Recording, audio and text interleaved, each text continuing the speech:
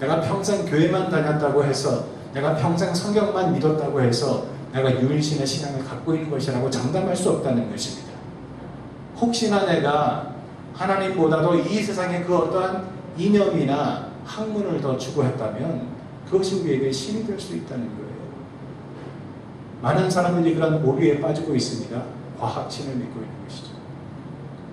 과학신을 믿고 있는 것입니다. 여러분, 과학을 믿는 것도 종교라는 것을 아십니까? 과학자들은 그것을 극구 부인하겠지만 나는 신을 믿지 않고 나는 모든 것을 empirical하게 과학을 믿는다고 말하지만 그 말에 어폐가 있습니다. 믿는다는 말을 쓰면 안 돼요. 과학자들이 믿는다고 말을 할 때부터 그것은 종교가 되는 것입니다. 원래 과학은 믿는 것이 아니거든요. 과학은 믿는 것이 아닙니다. 그냥 여러 가지를 experiment 해보고 테스트 해보고 그거의 결과를 보는 것 뿐이지 그러나 그 결과를 또 테스트 해봐야 되는 것이 과학입니다. 그래서 과학은 항상 변하는 것입니다.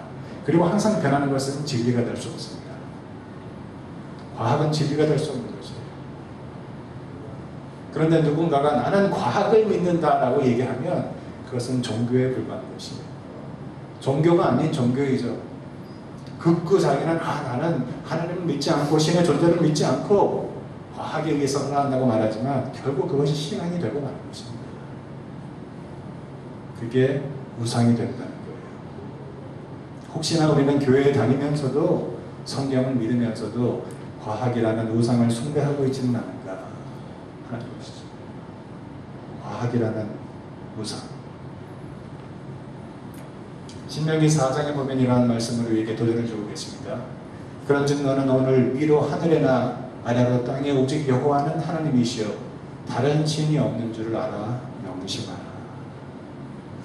다른 신이 없는 줄을 알아 명심하라. 신은 하나밖에 없습니다. 하나님밖에 없습니다.